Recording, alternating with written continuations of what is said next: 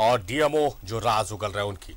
Puja and company पर ED का शिकंजा कसता जा रहा लगातार तीसरे दिन दुमका और पाकुड़ के डीएमओ से पूछताछ चल रही है। सूत्रों की माने तो ईडी की पूछताछ में डीएमओ ने रांची तक उगाही का पैसा पहुँचाने का दावा किया है, जैसे पूजा सिंगल ने भी माना है।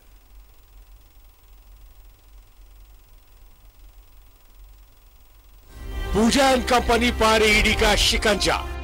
लगातार तीसरे दिन डीएमओ से पूछताछ। पाकुड़ और दुमका डीएमओ से सवाल जवाब। मनरेगा घोटाले से शुरू हुई ईडी की जाँच की आज अवैध खनन तक पहुँच चुकी है। लगातार तीसरे दिन दुमका के डीएमओ कृष्णचंद्र किस्कू और पाकू डीएमओ प्रमोद कुमार शाह से ईडी ने पूछताछ की।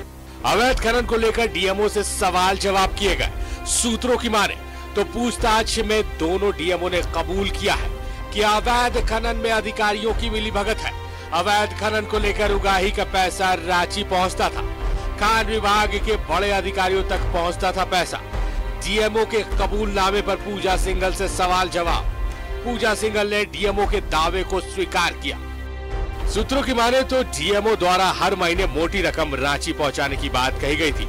डीएमओ के इस दावे को लेकर पूजा सिंगल और डीएमओ को आमने सामने बैठाकर पूछताछ की गई। सूत्रों की माने तो अवैध खनन मामले में बरहेट विधायक प्रतिनिधि पंकज मिश्रा को भी ईडी सम्मन भेज सकती है।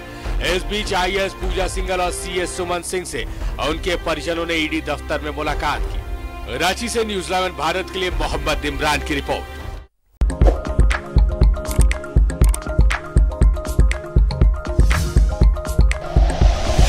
Like and share videos, subscribe करें हमारा चैनल और प्रेस करें बेल आइकॉन न्यूज़ 11 भारत सच है तो दिखेगा।